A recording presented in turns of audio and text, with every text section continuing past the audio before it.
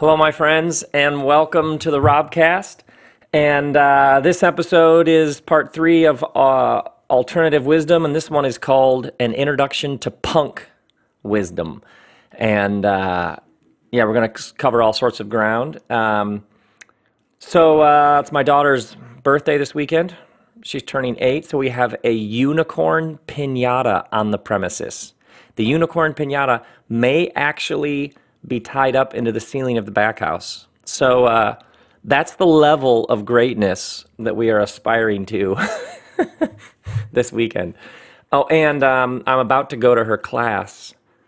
And you know how you take treats in on your kid's birthday? And I wrote this kid's story for her recently about a guy named Don who has a goat and a guy named Ron who has a boat. Don had a goat and Ron had a boat. And Ron used to row around in his boat and gloat and say, I'm in a boat, Don, and you're on land. I bet you can't stand it that I'm in my boat and you're on your land with your goat. Who wants a goat when you could have a boat? I have it right in front of me because I'm about to, she wants me to read it to her class. and I'm, I have this feeling that, and then it's this whole story about what happens. By the way, the goat, its name is Randy, and its last name is Dandy and it gets Sandy standing there on the shore, but Don can't take anymore. so literally, I am about to print out this story about Don had a goat and Ron had a boat, and uh, the story is called "A Goat for a Boat" because they end up trading the boat for the goat, and then Ron finds out that the boat has a leak. It's made of teak, and there's a leak in the teak, and now he has water on his seat, and uh, he finds out that he's been burned, that Don is actually a con, that Ron is actually a con. And uh, I don't know why I'm telling you about this, but it makes me laugh because I'm in full this story mode because I'm about to go over to her school and read it to her class. And I'm telling you, it could be crickets. They all could look at me like, what is this story about? So that's what we got going on. And a lizard just came in the back house. So uh, here, lizard, lizard. There's a, where is it? There's a small lizard at my feet that apparently it's looking for spiritual direction. So uh, we'll take it. We welcome everybody. We're an all inclusive podcast.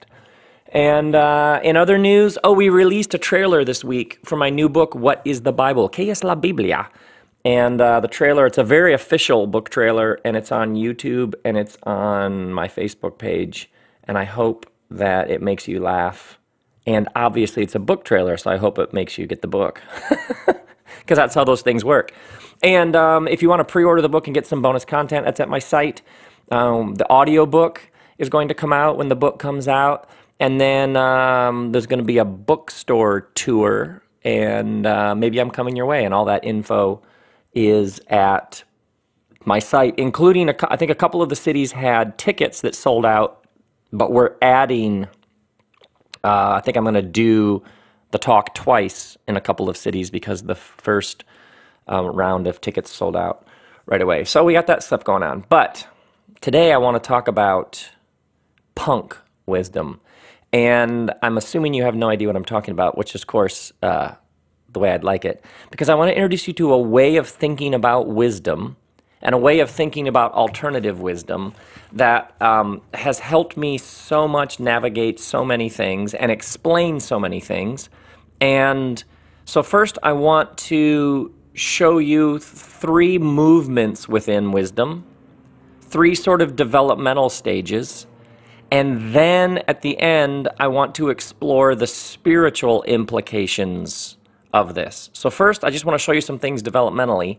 Then, uh, at the end, I just want to spend a moment and explore the spiritual implications of this because I think you're gonna you're gonna find yourself thinking, oh, uh, so that's what was going on there. So, if you have like uh, if you're th- thinking about this uh, graphically or visually or if you have pen and paper and you take notes on these sort of things i want to talk about show you pre-conventional wisdom conventional wisdom and then post conventional wisdom so on the left hand side right pre-conventional then an arrow pointing to the right then in the middle conventional wisdom and then an arrow from conventional wisdom pointing right to post conventional wisdom. And I have my notes, of course, written on paper in a notebook. So, um, and we've got about two pages of outline here. So well, we'll see where this takes us. Now, pre conventional wisdom, let's start there.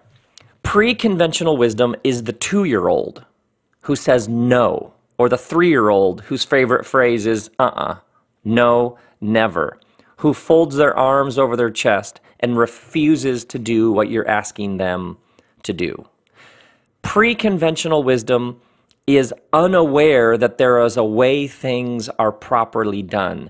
Pre conventional wisdom refuses to conform to the norm. Pre conventional wisdom stands at a distance and refuses to play by the rules. And every parent knows pre conventional wisdom. Pre conventional wisdom, if you are trying to get somebody to do something or simply introduce them to a better way of being that doesn't make you completely crazy, pre conventional wisdom is no. Mm-mm. Nope. Nope. It stands at a distance. It shakes its fist. It stomps its feet. It throws food. It rubs peanut butter in its hair. Um, this, of course, doesn't apply just to kids. We'll get to that in a minute. But that's pre conventional wisdom. Now, conventional wisdom is the rules. It's the way it's done. It's how things work. It's how they operate. It's how we've agreed upon proper conduct and behavior. Sometimes conventional wisdom is spoken and outlined and written out. Sometimes there's a list on the wall of rules about how it works. Sometimes conventional wisdom is not. It's just what you pick up in the tribe about how we do things. Conventional wisdom is sometimes the establishment, the tradition, the policy, the group, the group think, the party line. Conventional wisdom is the way that we do it. So let's go back to parenting. When you are teaching your kid to make their bed, and you are saying things like, We make our beds in the morning, or perhaps you have junior, Howard, junior high students and you're like, hey, we take showers around here more than once every two weeks. or before we go to bed in the morning, we brush our teeth. Uh, what you are doing is you are helping your child move from pre conventional wisdom to conventional wisdom. You're essentially saying there's a way that we can conduct ourselves, there's a way that we care for ourselves, there's a way that we behave, and here is how it works. Uh, I remember when my boys were young teaching them how to shake hands with people when they meet people, and that when you meet people, you shake them in their hand, you sh- you shake their hand, you look them in the eye, and you say their name. I remember like literally in the backyard like having them act it out because we'd been in a number of situations where they would like look away or they didn't know what to do when somebody stuck out their hand. And so it was basic like Here's how we do it. You think about grammar, how to hold a pencil, how to take out the trash, how to stand in line and not cut, um, how to drive and navigate roads. This is all what a parent is doing in helping a child move from pre conventional to conventional wisdom. Now, this leads us to post conventional wisdom because sometimes the group think is totally whacked. Sometimes the way that everybody does it is way out of bounds and everybody's lost their minds and you have to swim upstream. So sometimes with your kid, what you're teaching your kid how to do is challenge the norms. Like, think about those phrases like peer pressure and swimming upstream. And sometimes everybody's going to go do that, but you have to go the other direction. And then sometimes with your kid, and uh, Kristen and I did this whole thing on being a parent called Launching Rockets. Um, sometimes with your kid, you're both teaching them how things are done and helping invite them into conventional wisdom from pre conventional wisdom. And at the exact same moment, in another dimension of life, you're teaching them about conventional wisdom. Sometimes you're saying, here are the rules. And in the exact same moment, you're also saying to them, I know everybody says this is the rule, but you got to break that rule because it's a lame rule. Sometimes you're saying to them, this is how we do things. And you're also teaching them when everybody says, well, this is what everybody does. No, it's not what you do. And so you resist the conventional wisdom, not from a pre conventional state of awareness, but from a post conventional state of awareness. Pre conventional wisdom, conventional wisdom, post conventional wisdom. Now, a couple thoughts about this. One regarding rules. To break the rules, you first need to learn the rules. This is true in art, business, academics. This is true in many, many disciplines, trades, crafts, art forms, and relationships and way of interacting with people. So, uh, Malcolm Gladwell sort of introduced this idea of the 10,000 hours. Often, the way that it works is you have to learn the conventional wisdom of whatever it is that you're doing. You have to put in your 10,000 hours. You have to start out in the mailroom. You have to be mentored. You have to learn how it's done. So uh, sometimes I'll meet people. This happened again this week. I'll meet people who say, Hey, I want to do what you do. Uh, or I'll meet somebody who says, You know what? I'm just not a nine to five guy. I just kind of want to hang out and do the kind of stuff that you do. Guess how it started for me? It started by working nine to five. Actually, it wasn't nine to five. It was like eight to 10 or whatever it was. Uh, you talk to anybody who's doing interesting work in the world and you trace their story back, and you will find, I guarantee you, some time and place when they learned the conventional wisdom about whatever it is they're doing. Because you have to learn the rules in order to break them. Uh, Alexander McQueen it, uh, was this brilliant designer. He took his own life a little while ago. Uh, his flagship store, one of his main stores, is uh, near my house here in LA. And uh, Alexander McQueen was like this unbelievable avant garde designer. Some of the stuff that he made uh, is just incredible. But if you read his biography, he was from a rough part of London, and in high school, he interned and he apprenticed at a store on Savile Row um, which was the store that made formal suits for the royal family. So this kind of wild, uh, sort of urban kid went to work in this very staid, formal, traditional British clothes uh, place where they make custom clothing for very, very wealthy people. And uh, in his biography, you learn about how he was given a set of shears, not scissors, shears. And the first thing is you learn how to cut fabric. Um, and what's so fascinating is the story is about all of the groundbreaking things he's done to sort of shatter people's conventions about what is style and uh, what is possible with clothing. But when you read his story, what does it begin with? He learns the conventional wisdom of how to make a suit. Um, so he's making stuff later with skulls on it, and he's making stuff with uh, like feathers and he's doing but how did he begin he began by making suits for older british gentlemen you want to be dangerous you want to be radical you want to forge some new path you want to be an innovator you have to start with what is conventional wisdom here how do people do it in this marketplace how do people raise kids here you learn that so that you can subvert it you can resist it. You can move beyond it. Now, let's go back and talk about conventional wisdom. Some conventional wisdom is conventional because it's good, because it's necessary, because the reason why it's conventional wisdom is because it keeps us safe, it keeps us healthy, it keeps food on our plates, and it's good. So, part of maturity and part of understanding alternative wisdom is understanding sometimes it's conventional because the convention is good. Case in point, seatbelts. Seatbelts, what we know from statistically is that a seatbelt saves lives. That was even a, a slogan for a while. Um, so, when people like, I don't need, I'm moving to post conventional, I'm challenging the groupthink, I don't need a I don't need a conventional. Great, we, will we'll tell good stories about you at your funeral. Do you know what I mean? Or for example, a spreadsheet. Uh, maybe you're like, I don't need to keep accurate accounting. We're just sort of going with the muse, listening to the spirit. Just yeah. Well, what's also interesting is if you have some money in the bank, you tend to be able to follow the spirit and listen to the muse a little more closely because your stomach isn't grumbling because you don't have money for food. Are you with me now? Raise your glasses. So good. So sometimes conventional wisdom is there for a reason.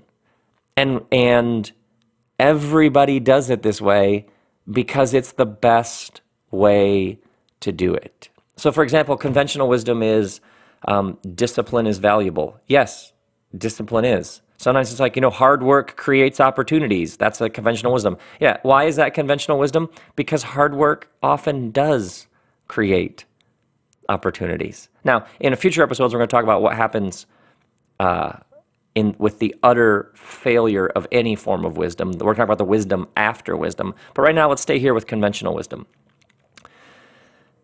Part of maturity is understanding sometimes that if you're rebelling against everything, from a pre or a post conventional standpoint, you sometimes, if you just have a blanket, well, if everybody does it, then I'm against it, sometimes that may be a recipe for being an idiot.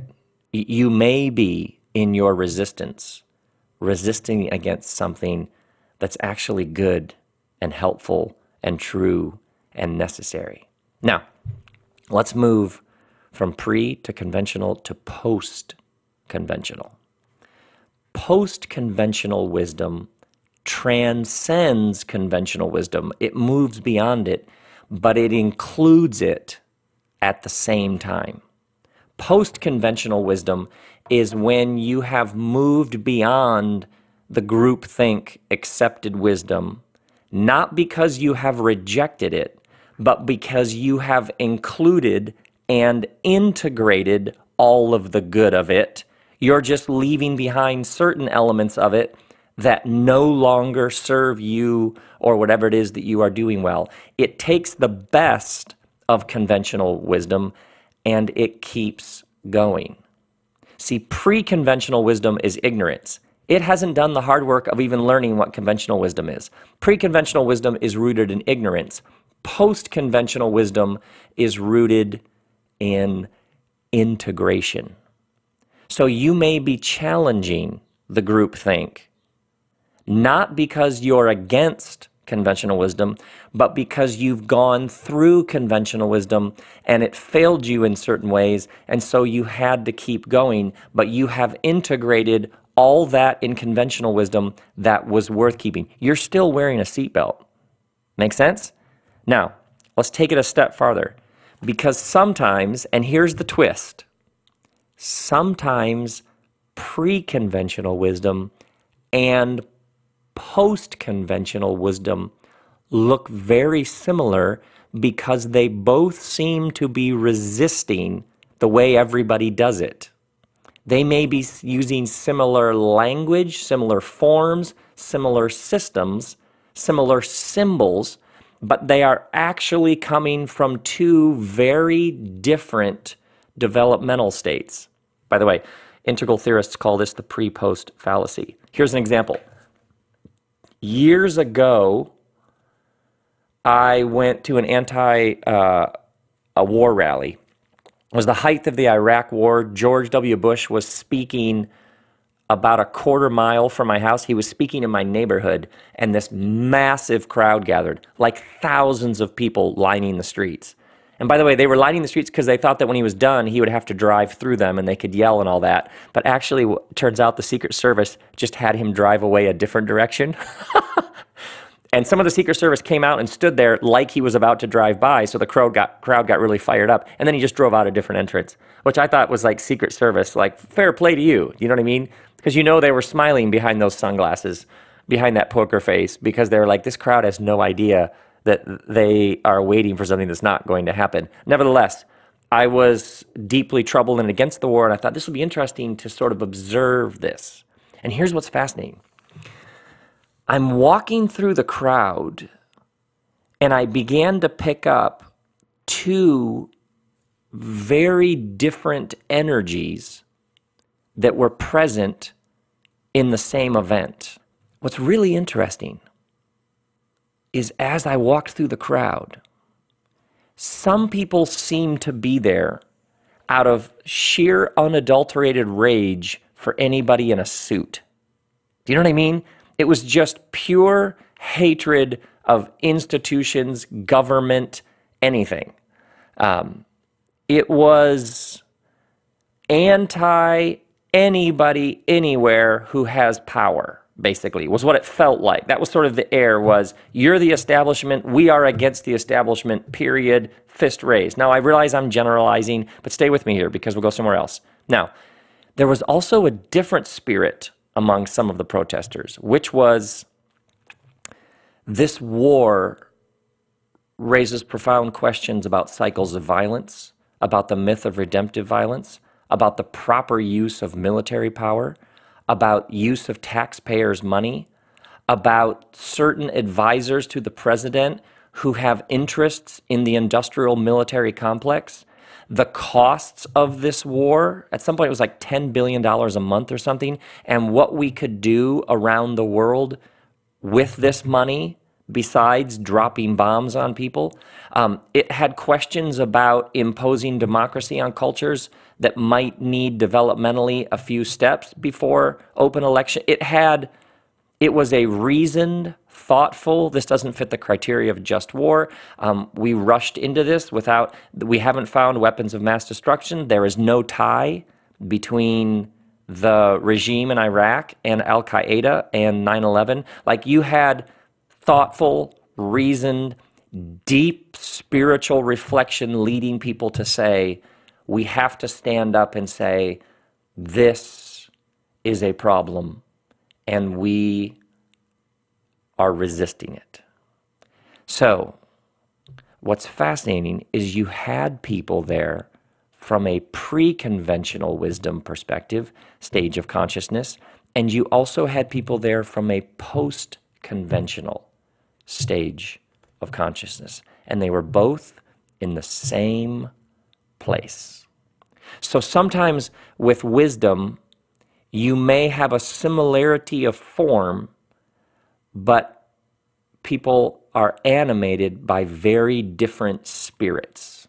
Sometimes it is pre conventional, irrational spirit that is just the spirit of rage, anger, and unadulterated resistance.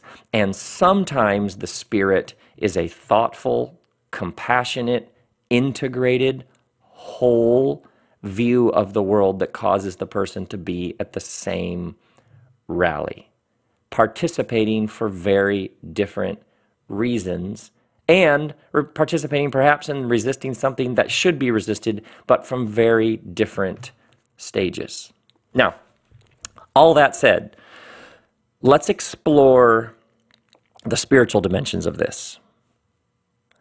Because the spiritual implications, of course, are endless. When the conventional wisdom of your tribe no longer works for you, and you begin to step outside of that and live with a different compass, you might find yourself experiencing deep loneliness. So uh, you think about the Jesus tradition.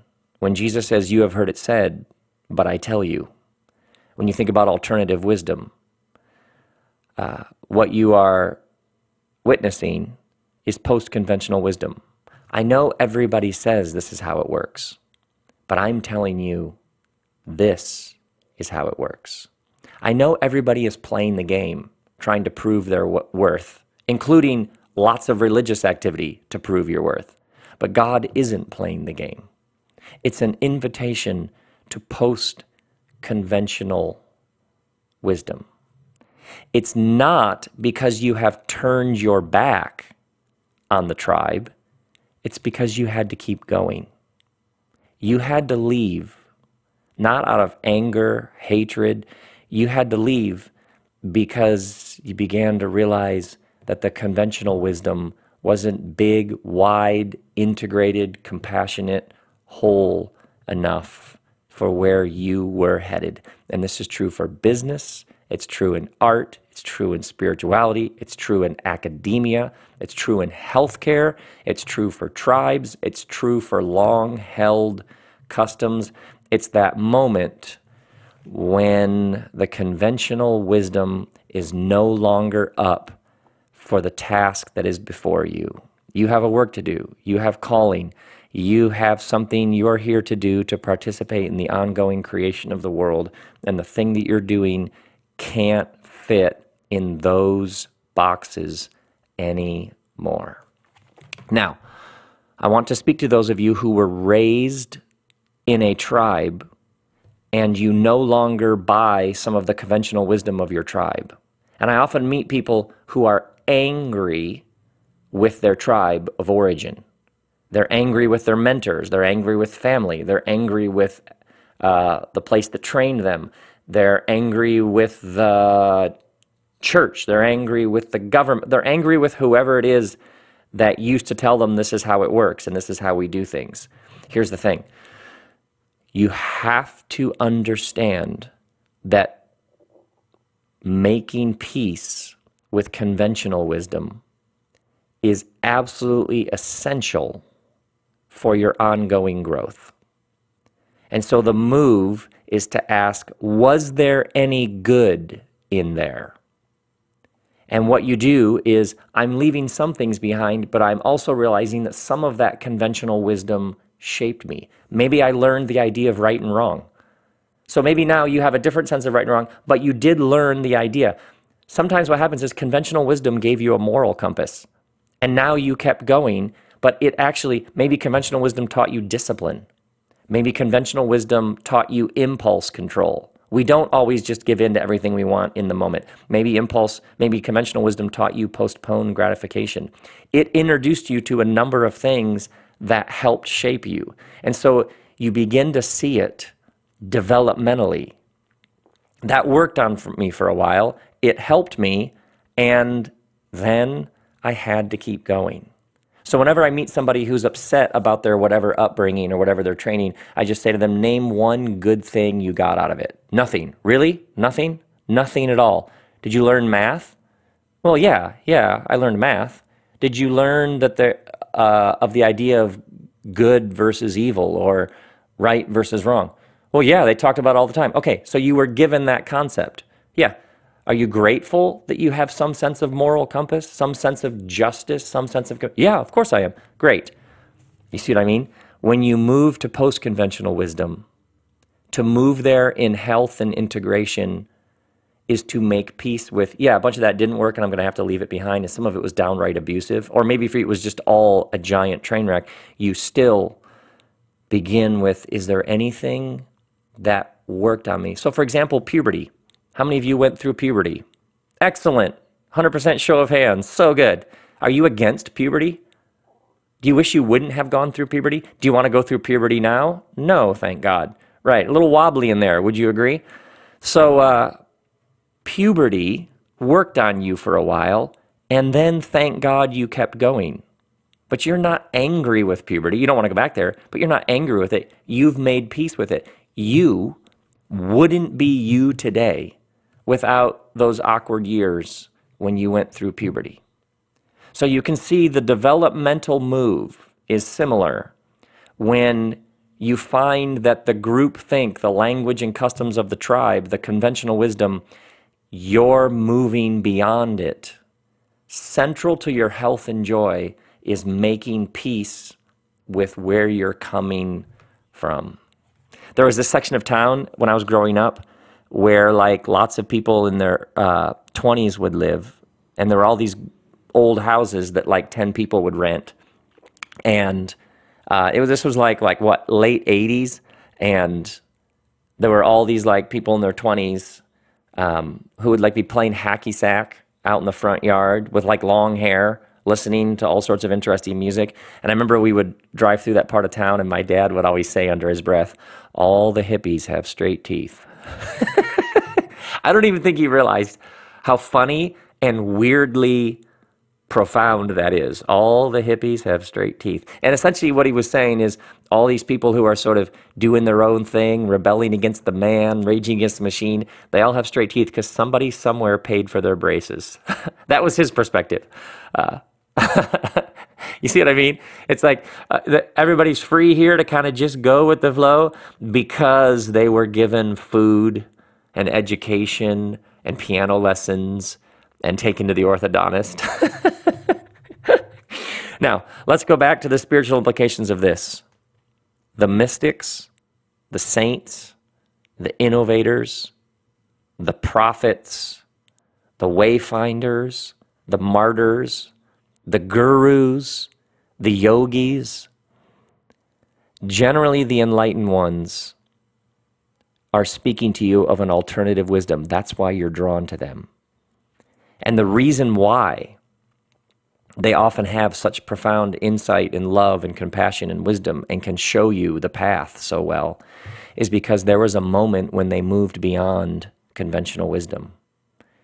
And generally, there will be no movement beyond conventional wisdom. There will be no transcending, including without some sort of cost. Often it will appear to conventional wisdom like you've lost your mind, like you're turning your back, like you have left the faith, like you have betrayed the tradition. And that hurts, and there's loneliness, and sometimes there's misunderstanding.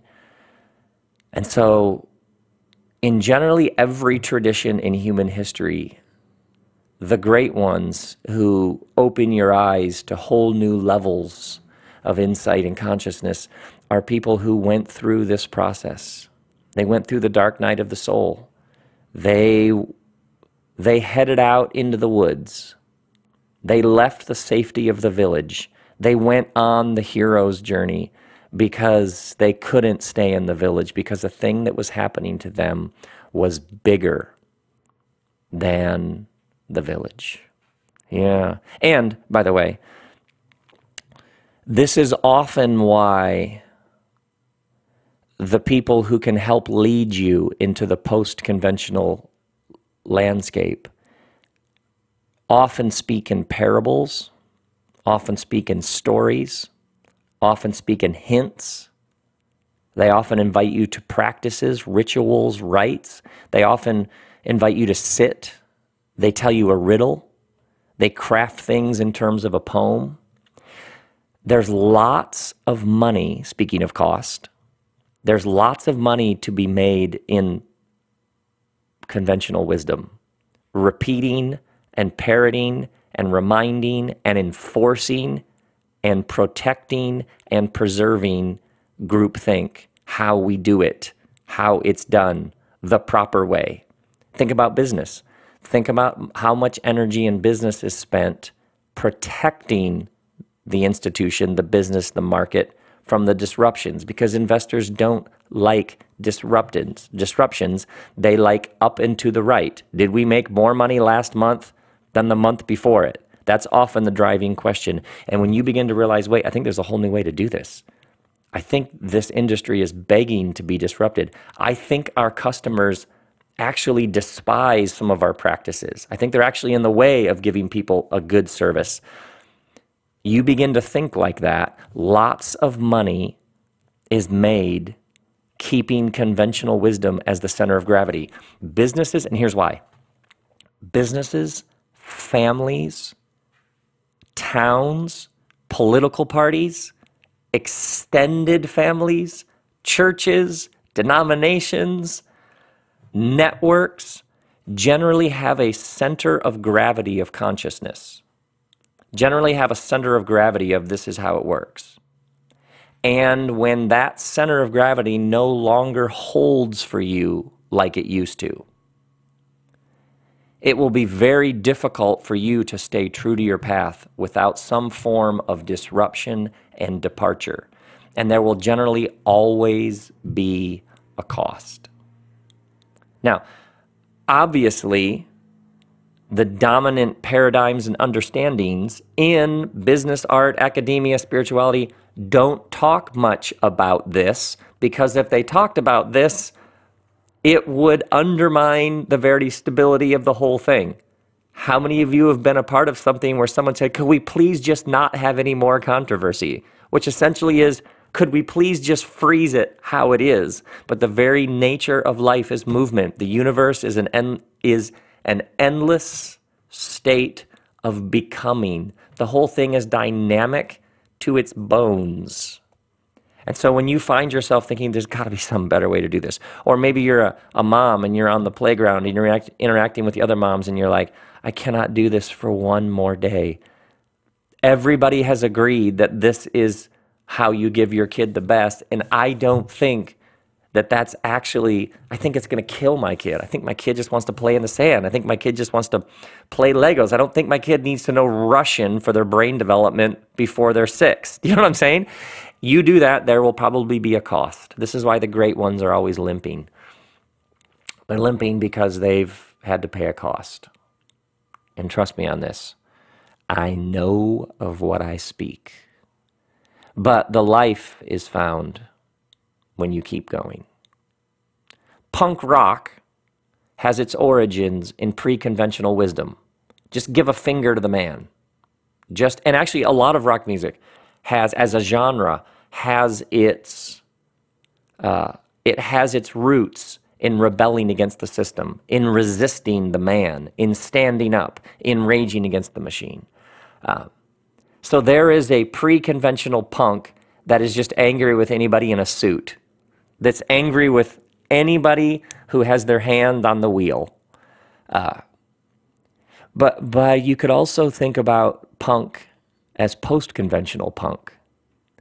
It's like there's a wise punk who's seen it, who's done the 10,000 hours, who's learned the rules, who got the moral compass, the impulse control, who who went through conventional wisdom and came out the other side. And so you have the punk spirit. You have the resistance. You have the spine. You have the, I'm going to swim upstream. And actually, I'm finding some other people were swimming upstream together. Uh, we're challenging unfettered 21st century capitalism that leaves millions of people behind. We are challenging this consumerism that leaves landfills filled with plastic things that we only used for a couple of minutes and is ripping our earth to shreds. We are challenging the ways in which women have been held down and oppressed and work the same job but don't get paid the same amount as a man. You, you know what I'm talking about here. Part of spiritual maturity and part of alternative wisdom is keeping your inner punk alive. And maybe you and your partner are living in some setting where everybody's like, this is how we do it. This is how you climb. This is how you achieve. This is how you accumulate. Maybe you're raising kids. Maybe you're thinking about retirement and everybody's like, well, this is what we do. We sort of, and you're like, no, no, I know that's what everybody does, but I got something else in me. I got something burning in me.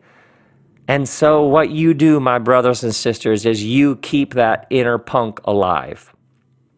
Not from the unawareness, the cluelessness, and the immaturity of pre conventional wisdom, but from the wisdom, wholeness, integration, and health of post conventional wisdom.